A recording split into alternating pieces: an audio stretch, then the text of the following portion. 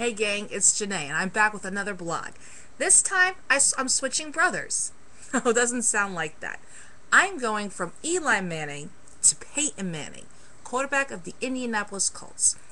Now I'm happy to report that yes, the Colts won. They beat the Raiders 31 to 26. Perfection. Well, not exactly perfection, because um, Peyton did throw uh, two interceptions. No big deal, no big deal.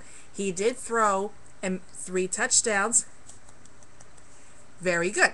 Jason Campbell, quarterback of the Raiders, not so good. Only uh, one touchdown, but no interceptions. I gotta tell you, even though they've lost Austin Collie for the season, you would never know. Colts did such a good job. Such a good job making this happen. Dominic Rhodes went, went for 98 yards. Joseph Addai went for 45 yards. Donald Brown, 28 yards. Jacob Tamme, I think he's given Mr. Dallas Clark a run for his money because he, he, he made possible one of those three touchdowns, going for 78 yards. Okay, and those other two uh, touchdowns, you say? Well, there was White, and there was Pierre Garçon. S'il vous plaît, oui, oui, monsieur. I am so happy that the Colts won. Now, you may be thinking, all right, Janae, aren't you a diehard New York Giants fan? You know, Eli Manning, Eli the cutie pie? Well, yeah, I am. But I'm also a diehard Indi Indianapolis Colts fan. And you're thinking, yeah, mm, she's a uh, Manning brother fan. Which is true. I'm also a fan of the Colts.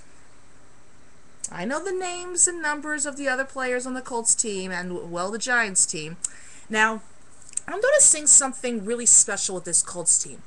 Now, you know they had a few um embarrassing losses. The Pat, the, the Pats, the Cowboys. I saw that game, uh, not good. And of course, Peyton Manning, Mr. Number 18, Mr. Four-time NFL MVP through how many interceptions? Ah, I'd rather not say. I think it was about 12. Eh, still doesn't matter. But point is, number 18 is. Better than ever. He really wanted this win, and the Colts wanted this win too, keeping their play ho- playoff hopes alive. So now, what's next for the Colts? Hopefully, a lot more commercials from Peyton Manning. I'm just kidding.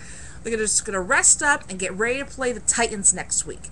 Now, if the Colts can continue doing what they're doing, and Peyton can cut down the interceptions and throw more touchdowns, they will be playoff bound, baby.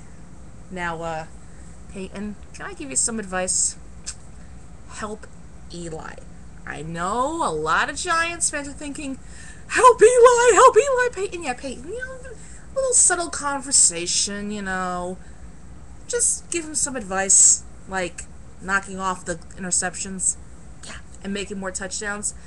But Colts, you are doing so great because you want this badly. You are showing all your fans that, hey, we are not that team that got beaten by the Pats or beaten by the Cowboys or beaten by the Jaguars. You're showing them that you are a team that wants to make it make it to the Super Bowl.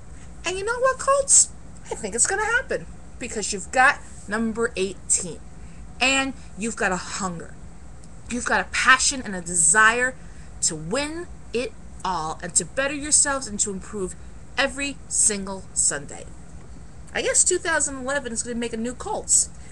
You know, you may not have been the same team that was, uh, what, 13 and 0 last year, but still, you're a good team and you're proving how resilient you are.